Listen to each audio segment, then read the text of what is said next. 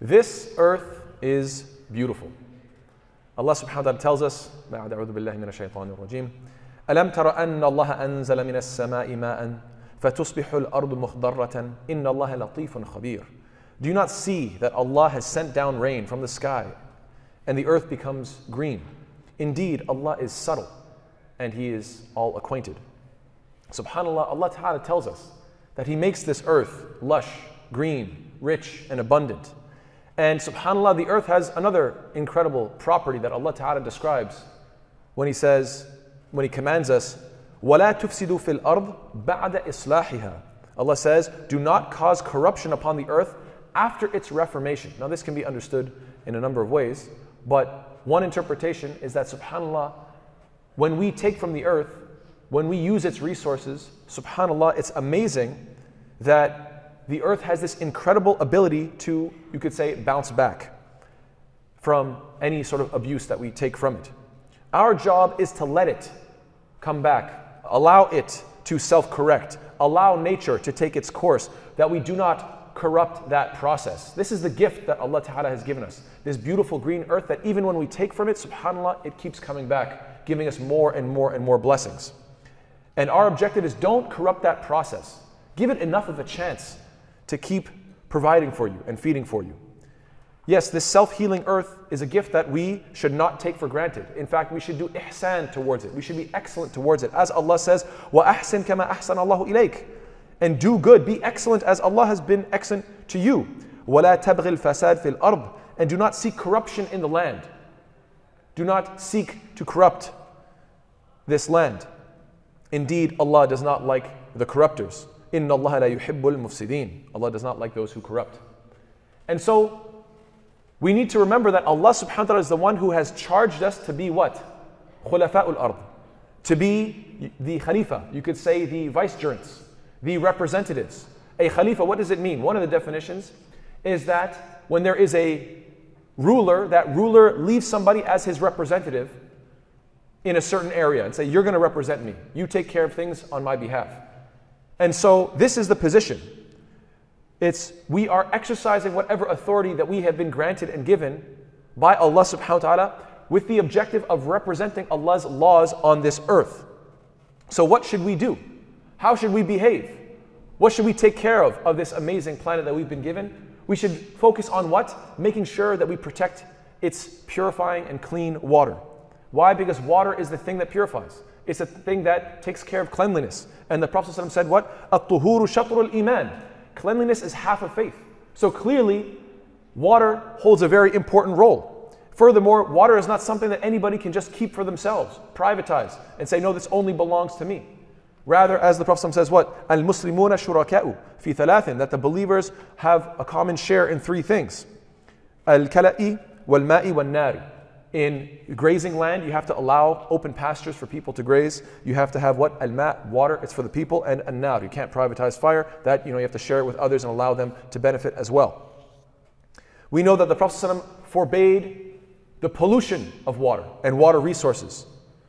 In fact, the Prophet ﷺ said to stay away from and guard yourself and protect yourself from being somebody who is cursed. And then that, you, obviously you wonder, who are these people that are cursed? And he defined one of them as al-baraza fil mawarid, the one who relieves himself in water sources.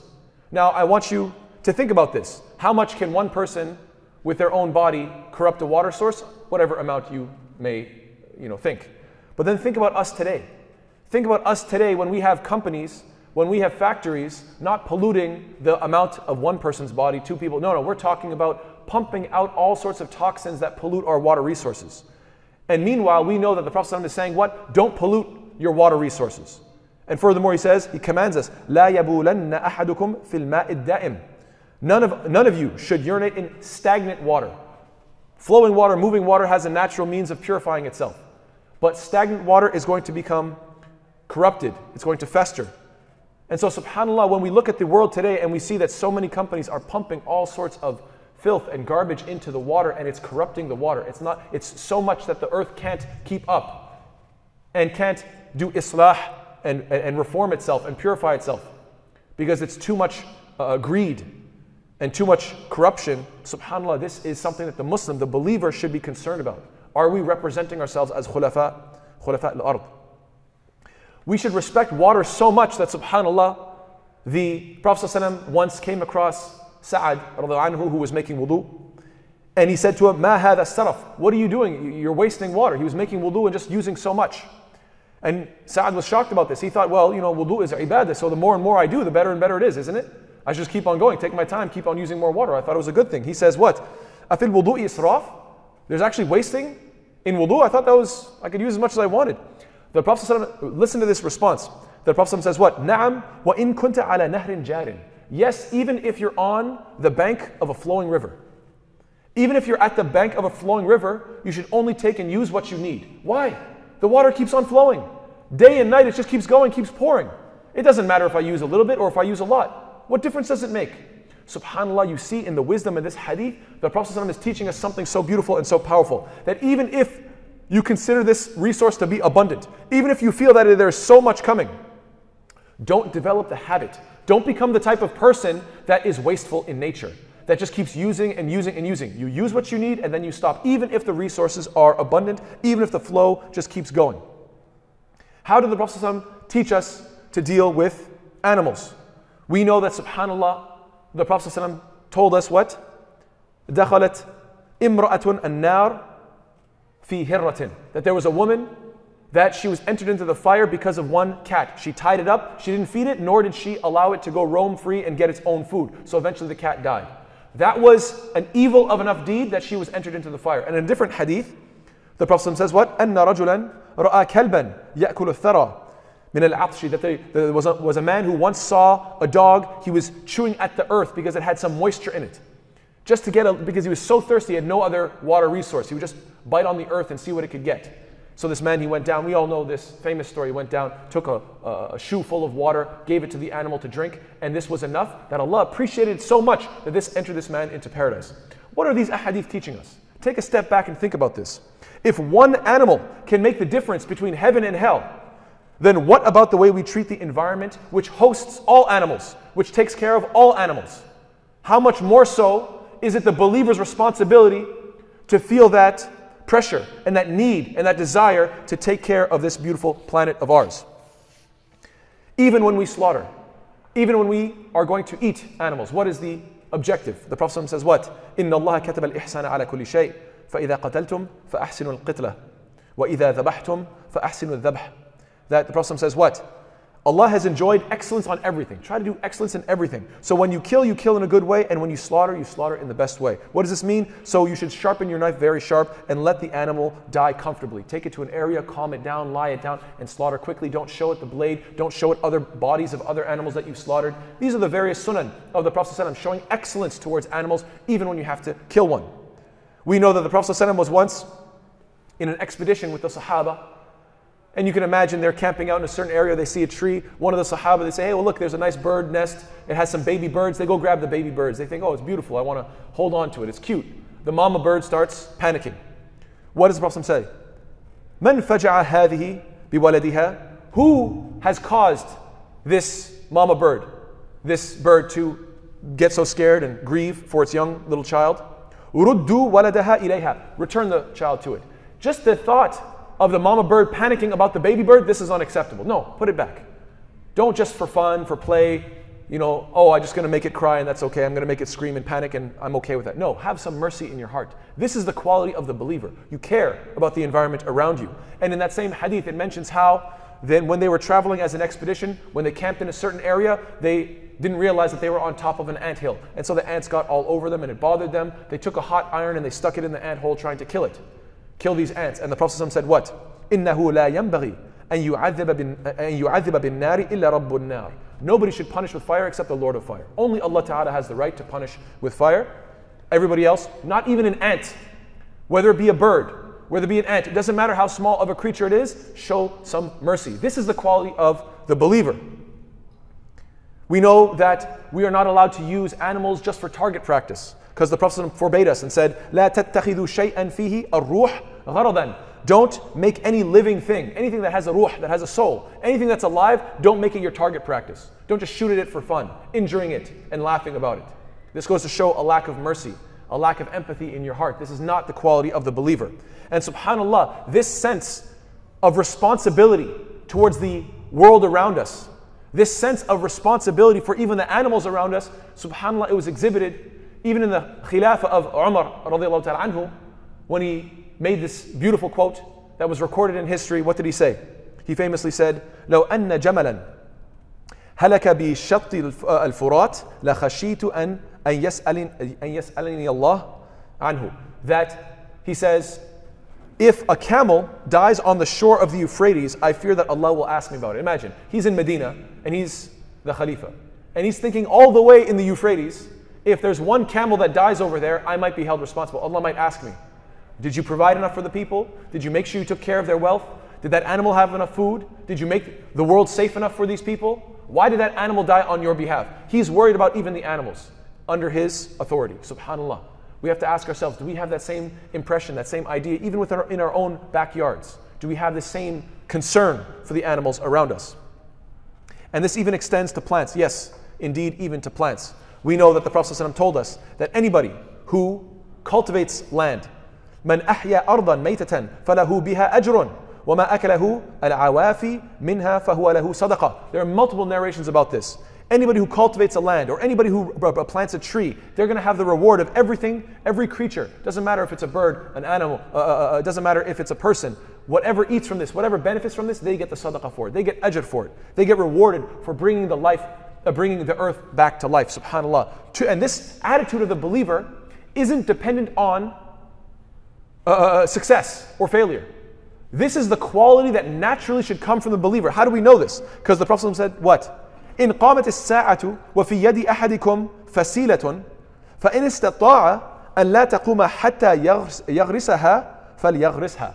That if the final hour comes while you have even a shoot of a plant in your hands, and it's still possible for you to plant it before the hour comes, you should plant it. Subhanallah, imagine this. Imagine you a meteor hits the earth and there's a tidal wave coming. You only have two minutes to live, but you're holding on to a plant. First of all, how many of us ever hold on to plants and have this attitude of planting and, and growing? And We usually don't do these things. But subhanAllah, the believer should be the one who wants to make the world a more beautiful place. So imagine, meteor hits, you know there's a tidal wave coming, it probably has one minute to kill you. You say, Ya Allah, I'm still going to plant this. I only have one minute left. I'm still going to dig. I'm still going to place it. Why? Because this is who the believer is, subhanAllah. This is the quality that the Prophet ﷺ taught us to have. That you still go ahead and do it. Do I know someone will benefit from it? Will I benefit from it? Will I allow it? Will I have time to get its fruits?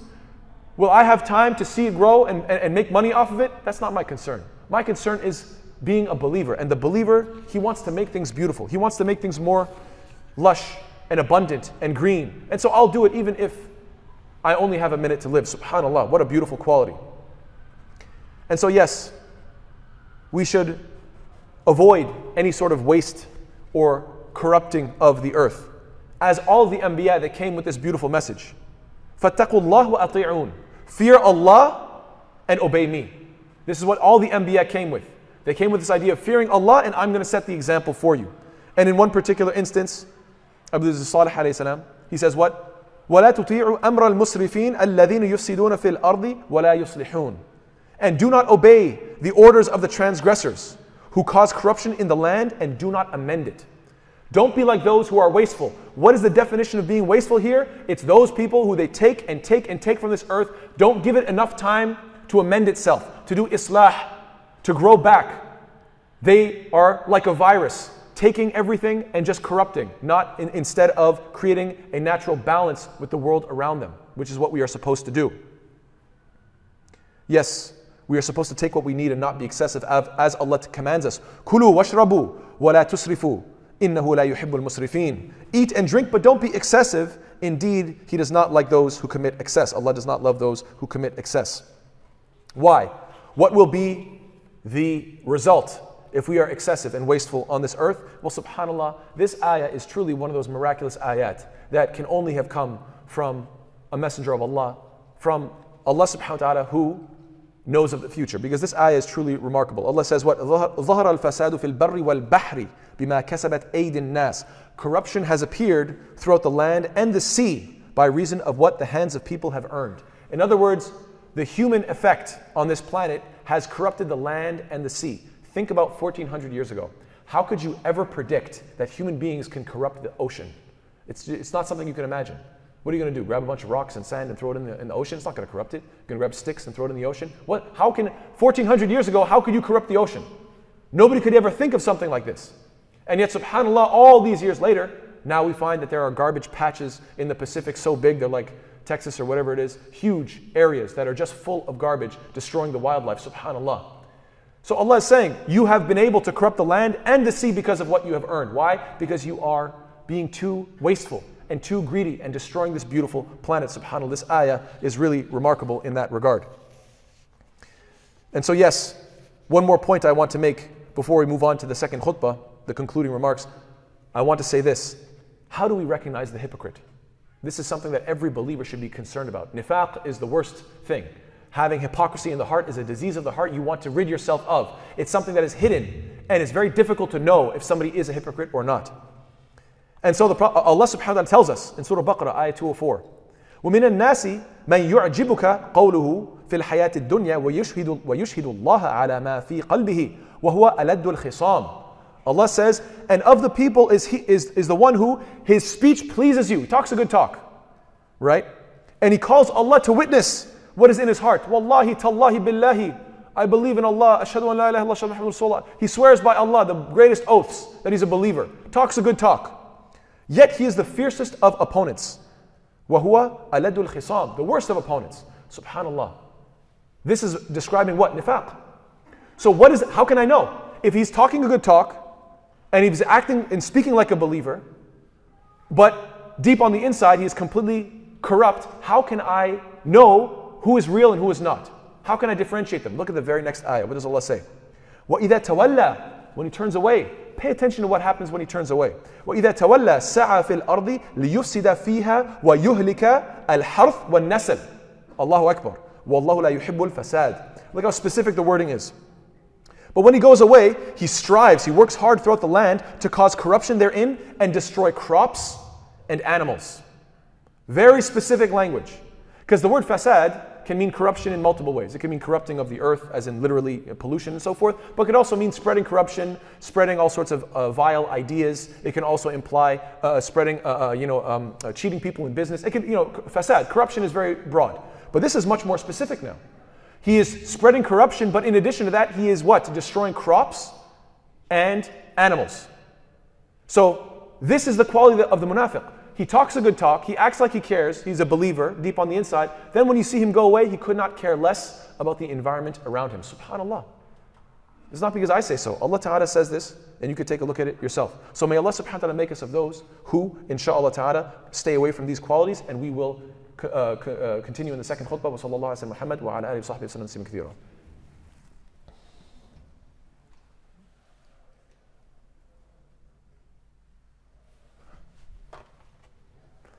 Bismillah, alhamdulillah, wa salatu wa salam ala rasulillah.